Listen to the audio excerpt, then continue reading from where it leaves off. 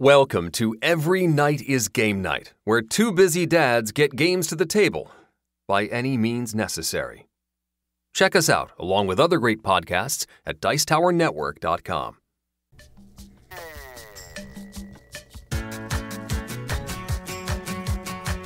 Every Night is Game Night, episode 129 How to Teach a Board Game in 13 Easy Steps, Part 2.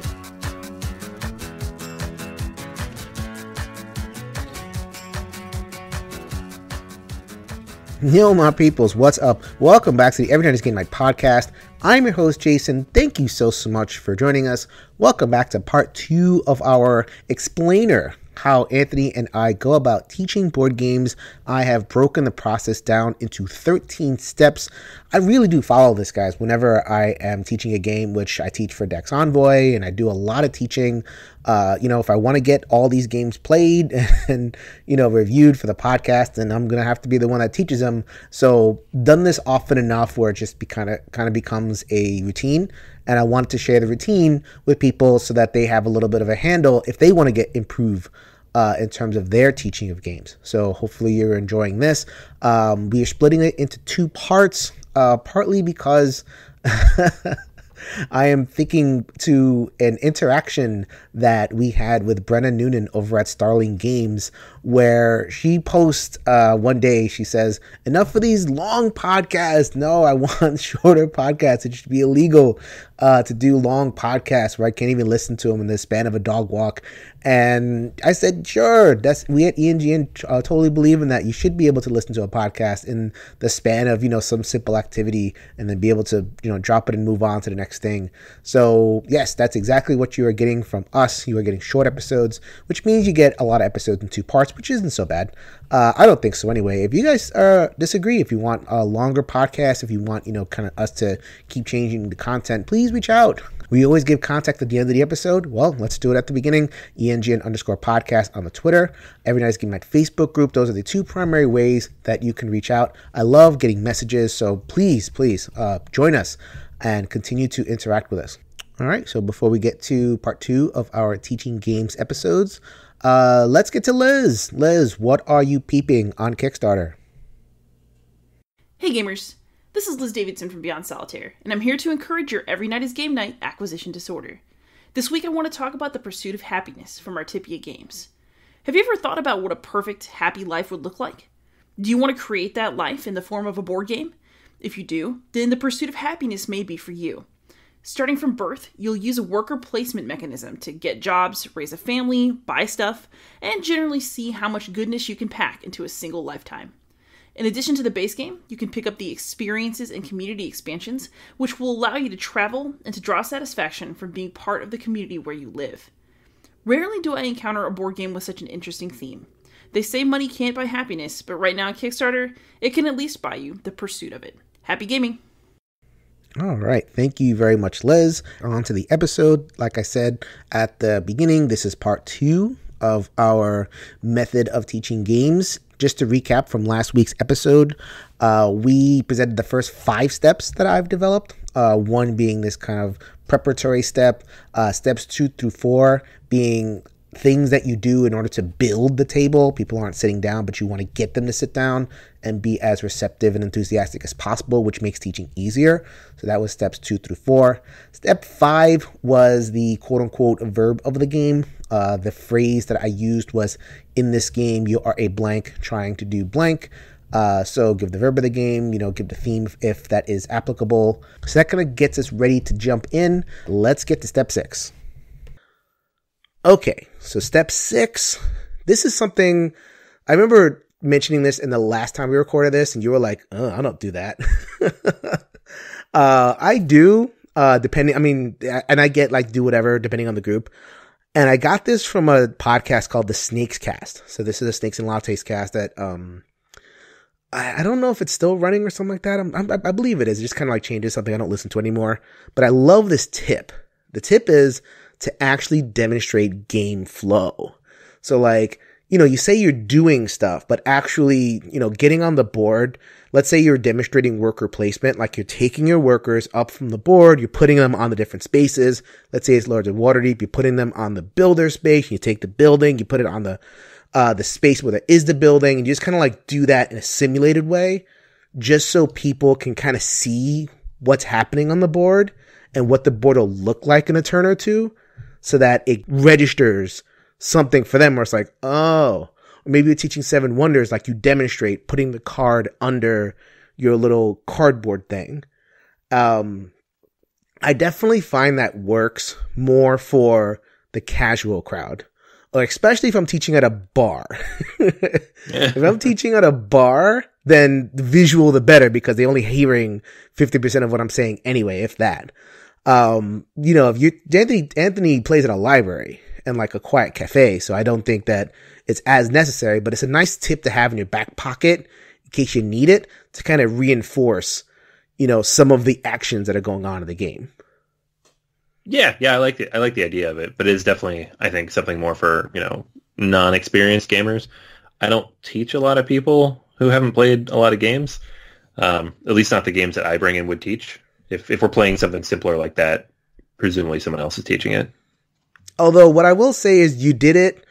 I th- or uh, maybe I'm misremembering, but I, but when we played Teotihuacan, you you took the die and you moved it around the board just like just that little simple message of like, oh, that's what the die is. You don't roll it, you don't do nothing. Like you actually just it's a worker. You move it around the board.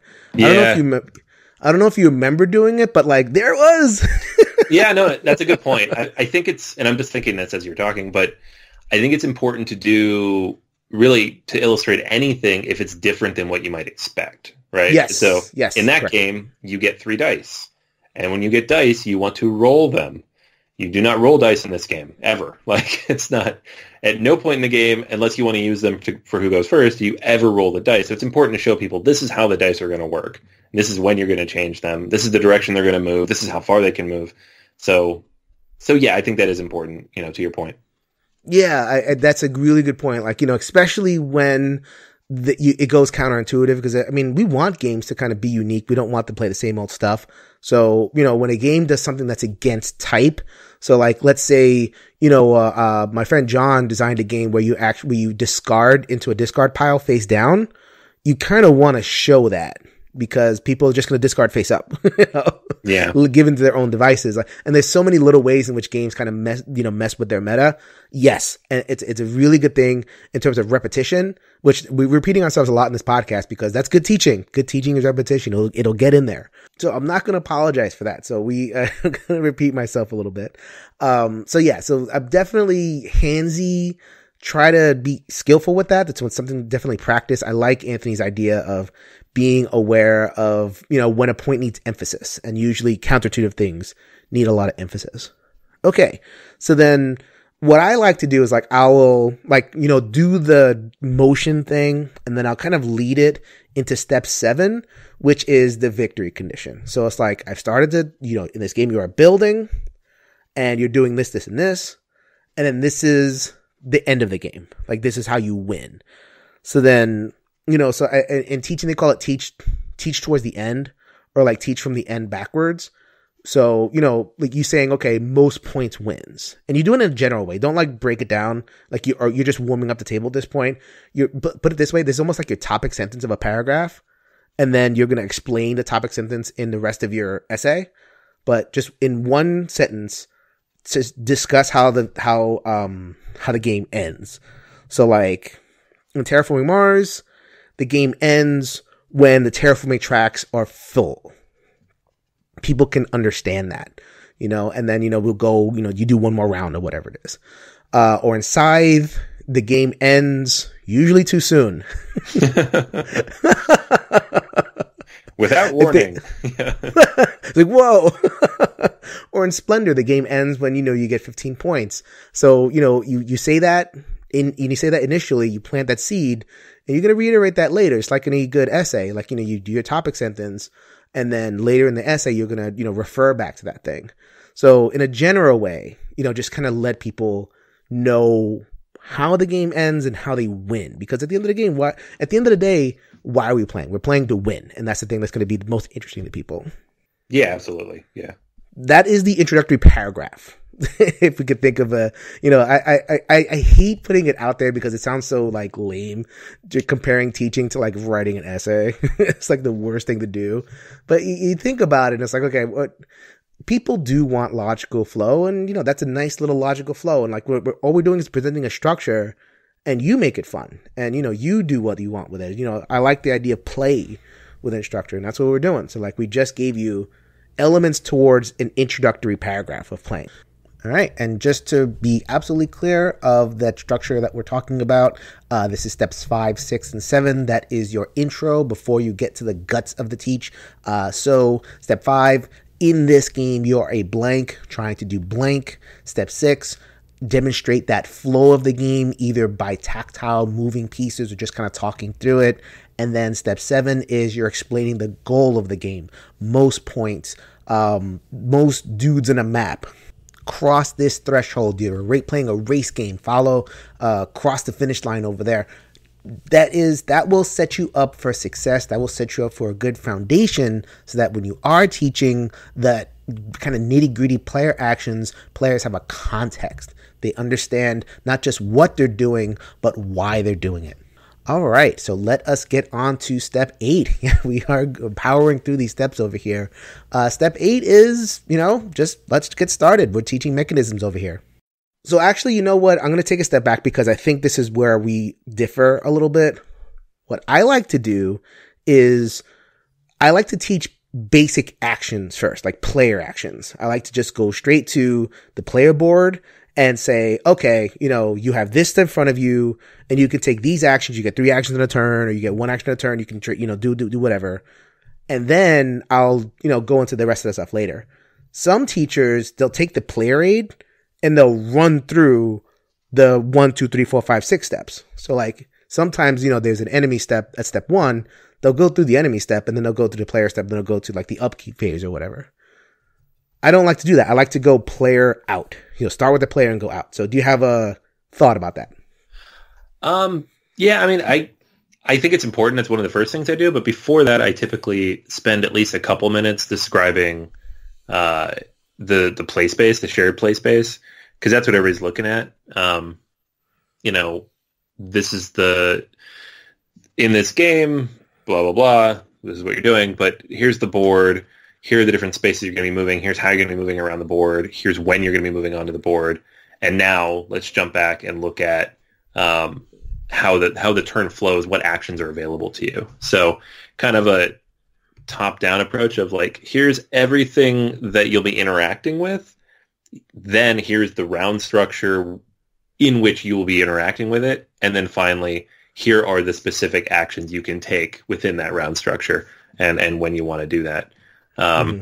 I feel like if I jump straight to like player actions, it's not enough context, especially in a little bit heavier games.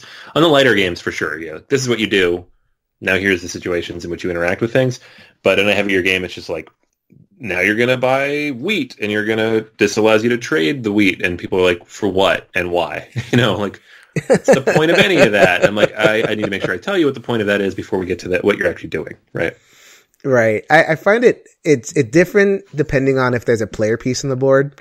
Like if there's a player piece, people have this ability to kind of like put themselves in the player piece and they kind of go from there. So like pandemic, say, like you mentioned before, like, you know, a simple game. I'll always mention player actions first and then I'll do everything else because the piece is already on the board and I can just like take the piece and go to the different cities and demonstrate, okay, this is moving. This is discarding our card to fly. This is removing a cube. And, you know, before I even do anything, you know, I find that is helpful. But I guess in terms of what you're talking about, like the games that you play, there are no player pieces. It's just like a, a big board and it kind of commands your eyes. So maybe the good advice there is like, okay, where are people's eyes going? you know, and like, you know, giving them a context of that and then like kind of filling in from there. Yeah, for sure. I'm like, if you put a big pile of stuff in front of people, that's what they're going to focus on first. But, you know, you mentioned Teotihuacan earlier that game, there's really nothing in front of you at the beginning except like a couple of resources you get. So nobody's really looking at any of that. They're like, well, what, what do we do with the board? What is the board? What is all this? You know, it, what's that pyramid? What's those tiles? yeah, exactly. They want to know what everything is. And so I, you know, in that game, I start with like, it's, you know, a rondel or you're moving around this thing always in the same direction. This is how you move around. This is when you move around. And now here are the actions when you move around. Um, And then finally, after all that, I'm like, and here's all the stuff you get and what you'll do with it. Mm-hmm. Okay. I mean, there's like for that one, for this category, you know, you can do that however you want. Like there's, there's, there's, you can either follow, like a lot of people follow the player aid. Like I don't. Like I actually hate giving players player aids before the teach. The teach, right? I, I think the setup and sit down people like hate that word, the teach. I don't know if you heard about that. No. Did you hear about that? They they they use the nasty uh, D word to describe people who talk about the teach. I yeah, that sounds dumb, but sure.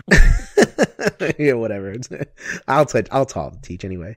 So um like you can organize it however you want. Like like they're legit some people who love handing out player aids. I don't like it because I find that it's very distracting. Like they're looking at the player aid, not listening to you.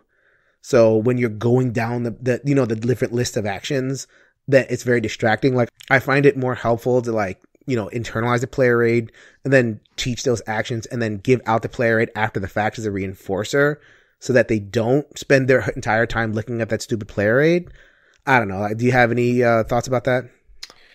Yeah, I tend to hold them back. Um, same thing. They are distracting. People start looking at them. They start asking you what's on there, and you're like, just ignore it for now. they're like, well, you gave it to me. like,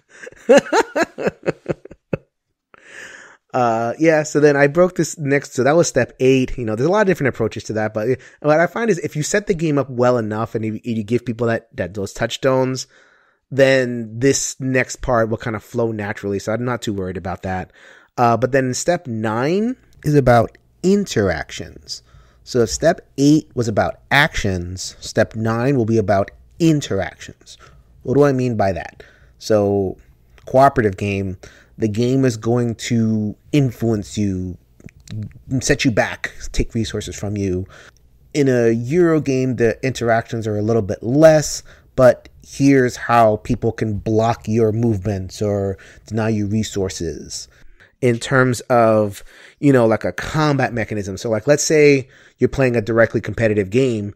Um, I actually will save describing the combat mechanism until after I've described movement and personal upgrades and how your board works and all that kind of stuff. I actually kind of get a little crazy when somebody like they get so excited about co- the combat in a game that they describe that before they describe how I even enter. combat should be the last thing you describe in a game. Like it's not like maybe like end conditions and everything else, but combat like there's a reason it's always at the end of the rule books too. It's not you need to know how you get there before you actually talk about what you do in it. Right, and I, I get it. Like that's the most fun part, and people are like, "Okay, how can I fight?" You know, yeah. uh, or even even in a game like King of Tokyo, like I won't describe like how the fighting works because it works in kind of a funky way. If you're here, you can only like to one person. If you're in the middle, you could attack everybody. Like describe the dice first, describe the rolling first, and describe the assigning, assigning stuff and getting the cubes and everything and then describe how damage works and all that kind of stuff. So I, I, you know, in terms of like keeping things logically there, I like to describe what you can do and then describe the points of interaction. I guess that's the probably the best way to do it. The best way to think about it. It's like, okay, describe the person first. And then if they're interacting in any way, like if it's direct combat or if there's, you know, like, like gotcha stuff or if somebody can kind of take resources from you, then you know you want to fill that in. Like and especially this is especially important where anthony was talking about where you learn the game first and you figure out oh this is what could trip a person up or this is what a person could look for this is where a person could get screwed you know like because they, they didn't pay attention to this. So but you know describe what they're doing first and then talk about how players can get screwed up and that's where playing the game first will kind of reveal that a little bit more than reading the rule book Oh, for sure. Yeah, and it helps immensely. I mean, there's always those people who are just like, let's just go. I want to get into it. But, you know, if you remind them of all the things that they're going to have to deal with, like, hey, by the way, at a certain point, you need to have these resources because you got to feed these people or whatever, you know, something like that.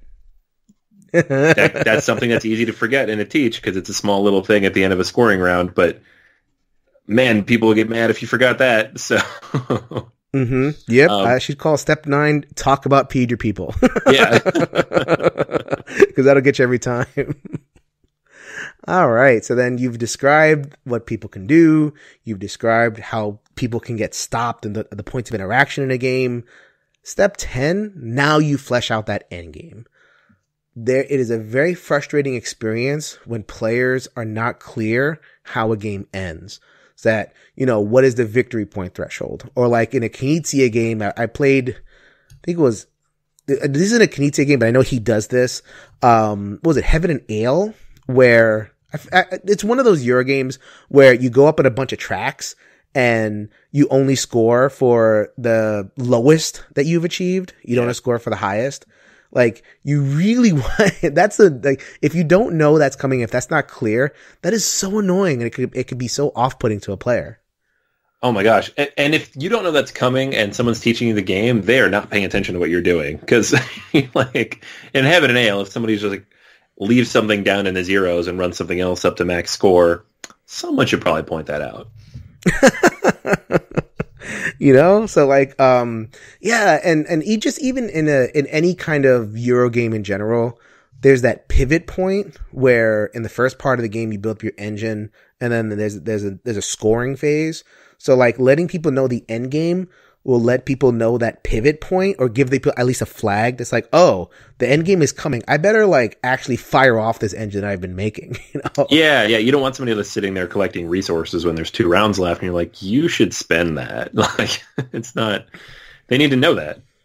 Absolutely. So like, you know, we're talking about Euro games, but like in any game, like, you know, uh, um, you know, let's say it's a comp- competitive game and you can win and, you know, especially if there's multiple ways to win. So like, you know, you're thinking you're playing a competitive game, you know, like a, like a direct combat game and you think like, oh, I'm going to conquer all the enemies and everything. And then some person like captures a flag. And it's like, oh, all I have to do is capture the flag. Really? so, you know, I know I talked about describing the end game in general before. That's a topic sentence this is the paragraph. Spend time, like, you know, be thorough. This is how the game can end. And this, you know, every game does this differently. Does the game end immediately when somebody achieves the victory, the condition, or do you get an extra round? You know?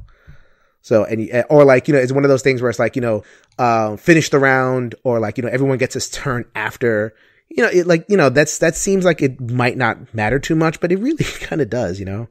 Oh, absolutely. Yeah. You, it affects how you're planning. It affects how you in- interact with other people. You, you, need you need to understand these things, and when you don't, people get mad. Understandably. So that was step ten. Flesh out the end game. Step eleven. Now this is kind of the end. This is where you. This is where I like to kind of wrap things up. Now selectively talk about like like special cards, player powers. You know, uh, you know, a lot in a lot of these games, there's usually a bunch of common actions that anybody can do.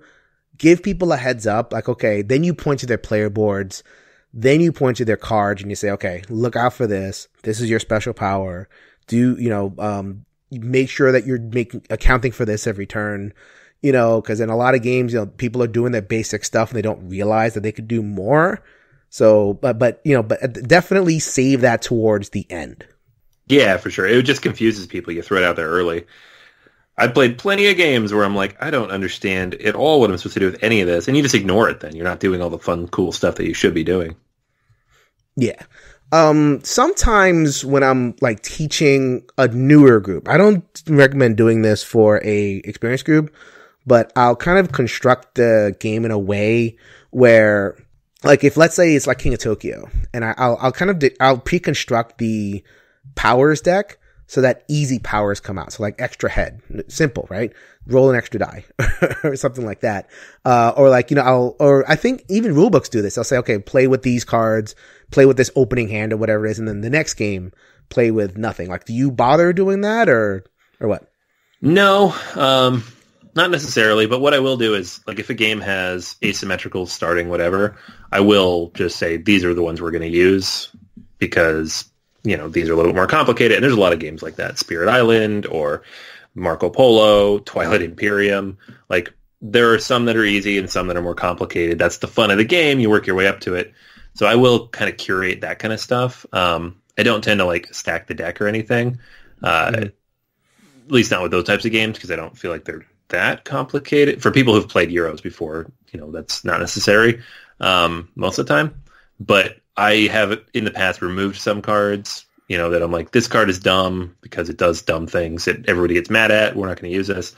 Uh, you know, you know, like like the the what is that the the base jump card in uh, Summit? Oh my god! Well, that just breaks the whole game. That's not even. if you guys don't know, if you, we, we reviewed the game Summit, it's not a popular game. Uh, unfortunately, kind of fell short of expectations. But there's one card that you know you're you're scaling the the mountain and then if you jump off the, like if you play this card you actually jump off the mountain and you basically teleport to the bottom which if and it's a roll. So if you roll well then you win the game. And if you roll poorly then you're eliminated. And it's like this is what kind of card is this? What's happening? So bad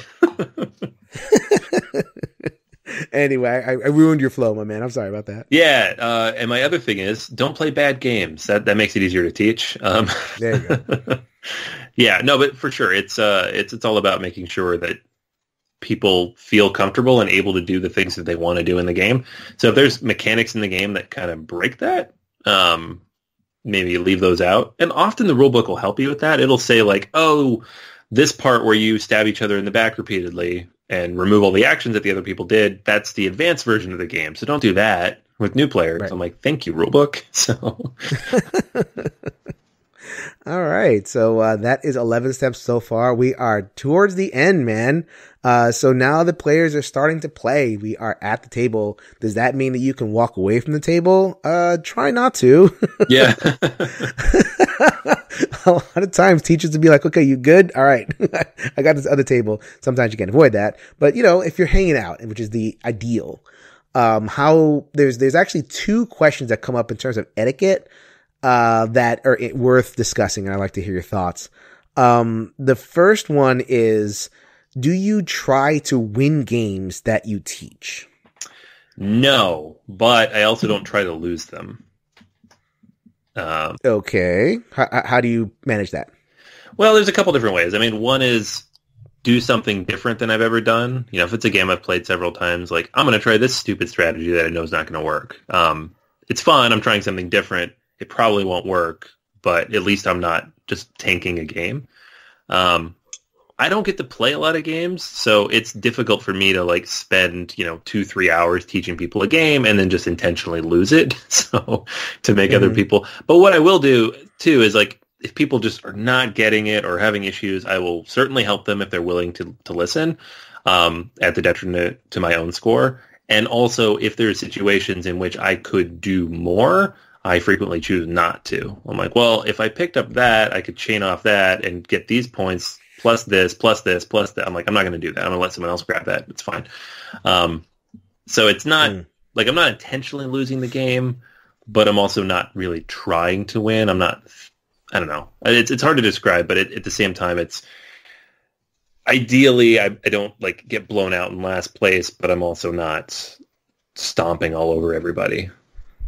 Uh, our friend Michael Kelly over at Co-opcast calls it being a lose ninja where you're trying to lose, but you're not trying to look like you're losing. That's a good way to put it. Yeah. yeah. I mean, realistically, I mean, unless you have like a really dedicated group of gamers that's just in for whatever, most people will have a better experience if they win a game. Yeah, I think so. I mean, it's obviously that's going to be the case for most people. Um, it's difficult though. Like sometimes people just really don't want to win a game. Like they're so bad. I I played Rise of Tribes with a group of people. All three of them were new to the game and generally new to you know heavier games in general. And I was very much trying to lose that game. And I because that's that's the kind of game where you just keep scoring. Like once you start scoring points, you score points every round, and you only need like 15 to win. Right. Um, and so I couldn't slow it down any more than I already had, and I was just like, just do that come on. and just like, yeah. Oh man. Like you can only try so hard. It depends. Like I, I've demoed near and far a bunch, uh, for like a Dex Envoy, you know, like, like one of the weekend splashes. So I like, played like eight games of it and I was crushing.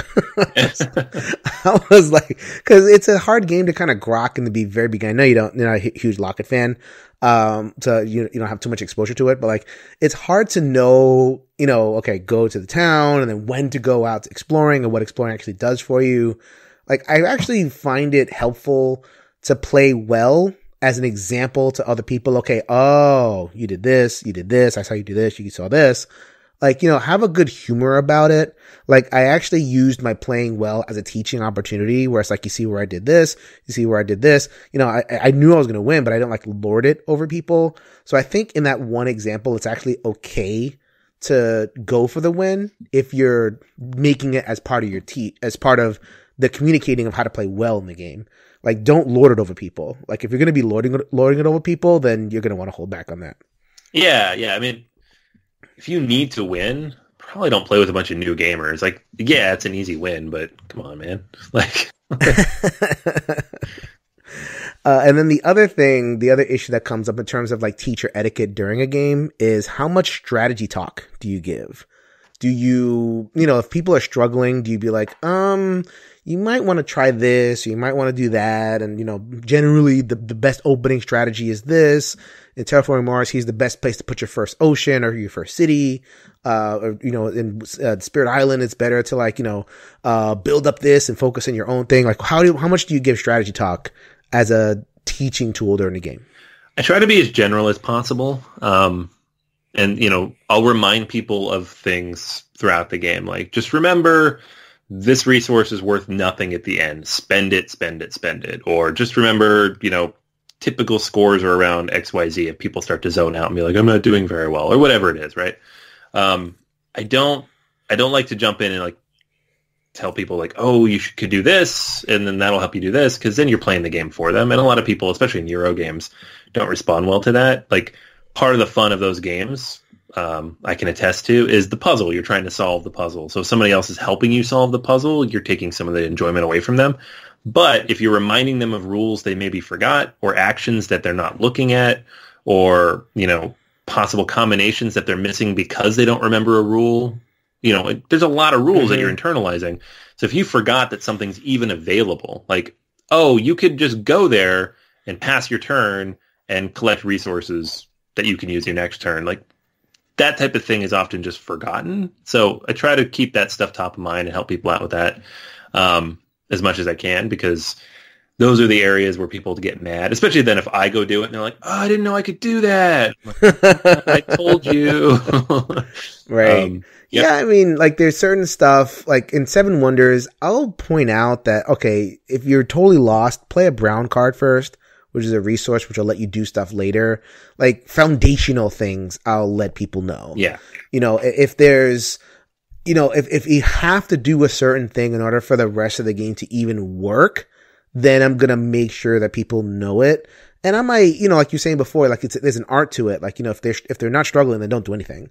Uh, but if they're struggling and I have to kind of see, you know, assess, are they just forgetting something? Do they just like they they nodded their head yes and they're ready to play, but they didn't really get it? You know, so there's an art to the noticing that, so there's no real kind of way to look for it. But if they're missing something that's completely foundational to the whole experience, then yeah, you're gonna want to point that out and say, okay, you know, you want to think about, you know. Uh, trying to think of another, like, you know, Seven Wonders is pretty easy. Like, I'm trying to think of another game where, like, you know, if you don't do a certain thing, then the whole game's going to fall apart. Uh, yeah. I mean, it's, a lot of games. Like you reviewed a game, you reviewed a game in the Euro, uh, and when we did the Gen Con Euro episode, where it's like, okay, you must score on this certain track. I think it was like Coimbra or something like that. Oh yeah, Coimbra is a great example. I mean, it's uh, there's no like one specific thing you need to do, but you do need to like focus in on a couple areas, and you need to have income, some kind of income. Otherwise, you're not going to be able to do anything. So right. that that game is a good example. Another thing I'll do is I'll remind people like these are the cards that are coming up because in a game like that, for example, you see every single card in the entire game. And some games are like this, some aren't. Like I'm not going to tell people, oh, in that Terraforming Mars deck, there's a, a meteor that could blow up all your plants. Maybe it'll come out. Probably not. Um, but what I will do is say early in a game, if you are collecting a lot of plants and nobody else is, that is a bad idea. Like, don't do that. and that's not something that comes up in the rules. That's just something you know and that you tell people who haven't played before because that is a bad experience to get introduced to a game. Um, so if there's something you need to do, if there's cards that are going to come out, they're going to impact what you're doing and how you're doing it. Like, oh, scoring cards are going to come out in the second round or the third round. So you need to be specialized in one thing so that you can grab a scoring card. And you need one of those to win the game. Um, right. That kind of information is important. That's part of the teach usually, but often it's also a reminder halfway through the game. Yep.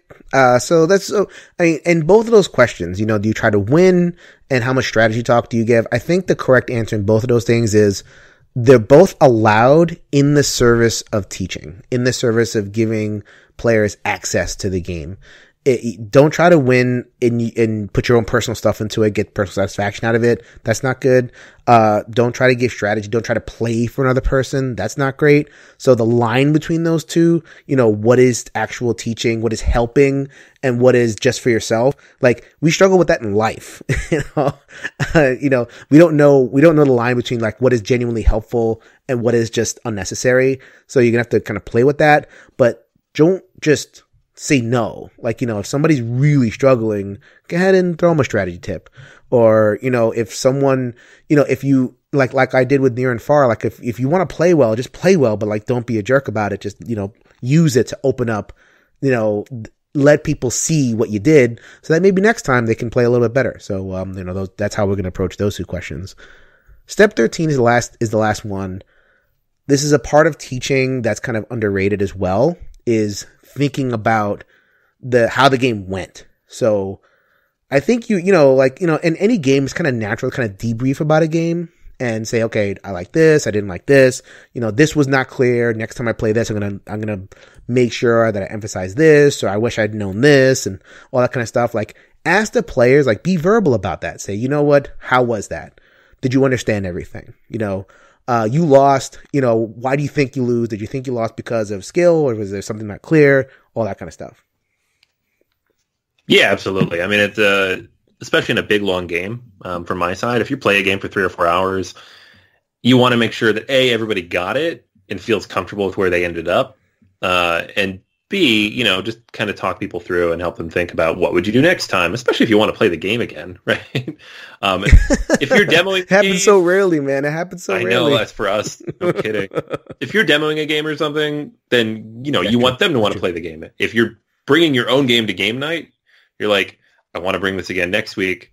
Who's in? And this is kind of a good way to get a good sense of like who got it, who didn't, why they didn't get it, and it can also help you improve how you teach later.